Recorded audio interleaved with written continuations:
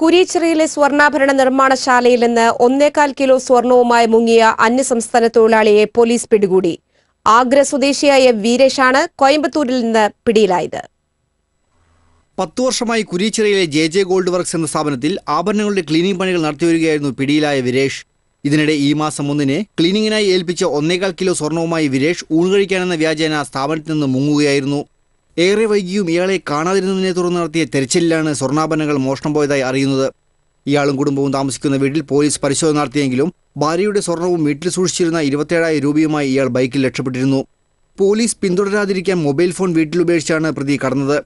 എന്നാൽ സുഹൃത്തുക്കളെയും മറ്റും ബന്ധപ്പെട്ട് അന്വേഷണം നടത്തിയ പോലീസ് ചൊവ്വാഴ്ച ഇയാളെ കോയമ്പത്തൂരിൽ നിന്ന് പിടികൂടി.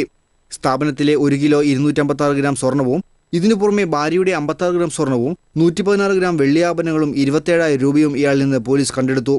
City police commissioner K G സൈമണിന്റെ നിർദ്ദേശപ്രകാരം എ സി പി ശിവവിക്രമിന്റെ നേതൃത്വത്തിൽ Thrissur west C I T R Rajesh Nedupuzha S I Shaji A S ഐമാരായ ബിനൻ സുധീർ സി പി ഒമാരായ മനോജ് സോമൻ അജയ് ഘോഷ് എന്നിവരടങ്ങിയ അന്വേഷണ സംഘമാണ് പ്രതിയെ പിടികൂടിയത്. അതേസമയം സ്വർണാഭരണ നിർമ്മാണവുമായി ബന്ധപ്പെട്ട് സംസ്ഥാനത്ത് ഏറ്റവും കൂടുതൽ അന്യസംസ്ഥാന തൊഴിലാളികൾ പണിയെടുക്കുന്ന തൃശൂർ ജില്ലയിൽ ഇവരെക്കുറിച്ചുള്ള യഥാർത്ഥ വിവരങ്ങൾ പോലീസിന് കൈമാറിയാൽ ഇത്തരം സംഭവങ്ങൾ ഒഴിവാക്കാൻ സാധിക്കുമെന്ന് കമ്മീഷണർ പറഞ്ഞു. T C V news Thrissur.